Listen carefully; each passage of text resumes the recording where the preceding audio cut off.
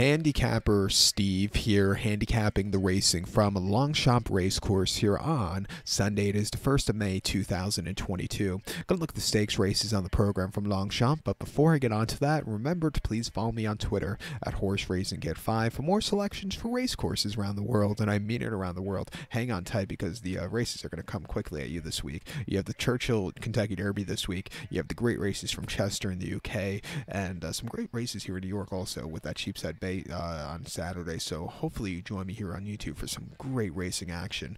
But um, eh, we're going to look at the group races on the program today from Paris Longchamp, races five, excuse me, races five, six, and eight. So uh, let's get to it right now. The fifth race, it's the Group 3 Prix Allez France Longines Stakes. It's a Group 3 event for going for purse $91,000, race for four-year-olds and upwards. The fillies and mares here. We have a field of seven mares going the distance of ground of 2,000 meters or a mile and a quarter on the turf course. I'm going to take here the three horse amazing. Uh, I'm to go with the excuse me the one horse Grand Glory is the top selection. We'll go one horse two in the TriCast trifecta. It's too dark in here. Can't see my notes. One four two TriCast trifecta top selection. One horse Grand Glory, the six year old mare by Olympic Glory. Cristian Demuro is on this one. The horse's most recent ad came that 10th of April here at. I'm on a quarter in a listed stakes, and the horse won by one and a half lengths there and did everything and more that day. She settled well in the front end. She quickened up nicely and got the job done on demanding ground with some clash relief from the previous race. It was a job well done. Coming here, Group 3, not the world's toughest race. Second off the bench, where she'd be a lot fresher. I think she can improve off that last run. She also likes running here at Longchamp. Two back, the winner in the Group 1 uh, uh, Japan Cup at Tokyo Racecourse, a mile and a half on very firm ground the 28th of November. And the horse finished fifth by three and a quarter lengths there. She ran okay. She beat quite a good group of horses home that day, but she just wasn't going to win. She, she, you know, there was nothing bad about that race, but she just needed that extra turn of foot, which she didn't have, and get beat by better horses. But there was nothing bad about that race there. Uh, and then before that, the Group One Prix de l'Opera at Longchamp, Montecourt, third of October. The horse finished second by nose. She's just drawn a little bit too wide, and I think the very demanding ground got to her. Wheels were just spinning a little bit too late. But again, nothing bad about that race. Every challenge she ran in 2021, even if she didn't win, she always ran these good races that you know that uh, you you couldn't cry to home about. Uh, before then, the Group One Prix Jean Romanet at Deauville over the Mont Quarter on 22nd of August. She won by a nose, a 23 to one upsetter. She really had a good trip on the front end, and then won the Grand Prix de Vichy before that on soft ground over the Mont Quarter in July, very very easily by two lengths at nine to one. Coming here today with a good post draw, you know I think the momentum should go in here into 2022 again. So to recap my selection for the fifth, it's the Group Three Prix Allez France. Gonna go with the one horse Grand Glory. 142 for me in the TriCast trifecta. The sixth race, it is the feature Group 1 Prix Stakes. It's a Group 1 event going for a purse of $340,500, race for four year olds and upwards. Six horses are going 2,000 meters or a mile a quarter on the Longchamp turf course. I'm going to take the three horse Sealiway as a top selection. Let's go 352 in the TriCast trifecta.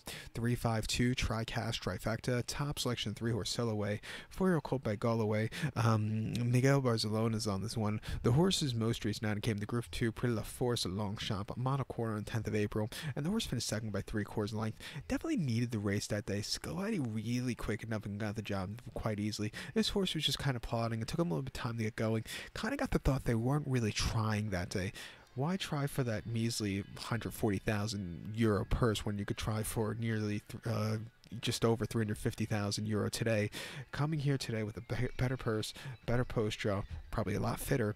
I think the Warska really is sitting on a good race, and I think 7 to 2 on him is a great price. And I think it might drift up if they if they bet Skalleti into the ground.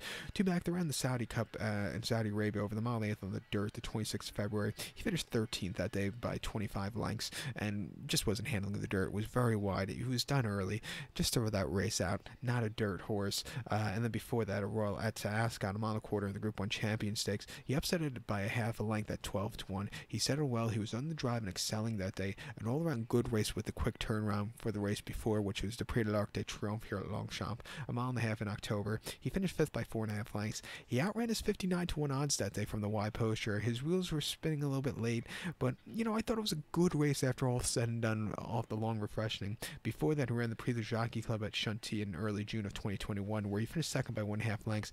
Again, outran his 54 to 1 odds that day.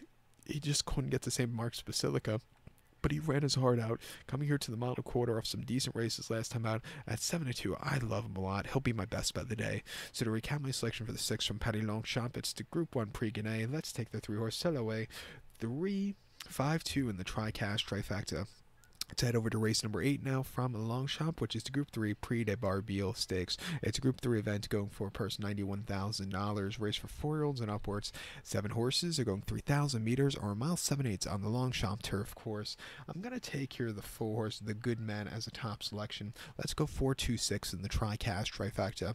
426 Tricast trifecta. Top selection of four horses, the Good Man. Five year old horse by Manduro. Stefan Wattel trains this one. Theo Bachelot gets the mount. The horse's most recent outing came on the 24th of March at Saint Cloud, a mile and a half on yielding ground and a four-year listed stakes, and the horse finished fourth by six and three-quarter lengths there. Over a shorter trip, the horse just never quickened up, just kind of plodded along.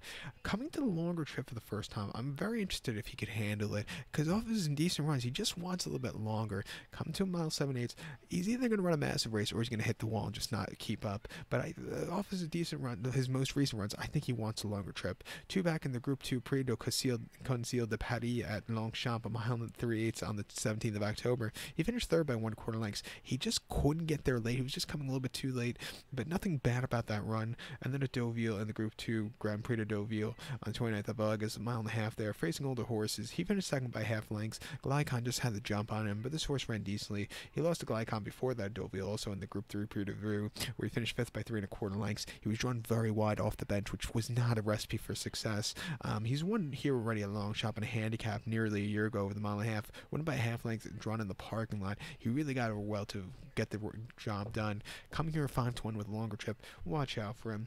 Watch out for the um, two horse Casino also. He's another horse. He, he had his uh, he started twice already this season. Once at Consumers in a in a conditions race, and once in that um, handicap for stayers at uh, in Saudi Arabia on Saudi Cup night, where he just never really showed. Come back to Paris, um, you know, a little bit given the grounds. I think he should uh, go up and up. Three to one, definitely to use in your plays pot. But to recap my selection for the eighth from Paris Longchamp, it's the Group Three Prix de Barbeville. Let's take the four horse, the Good Man, as a top selection. Give kudos to the two horse Casino. Four two six try Tricast Trifecta. Four two in your place pot. So good luck to all. Please follow me on Twitter at Horse Racing Kid Five. Good luck, everybody.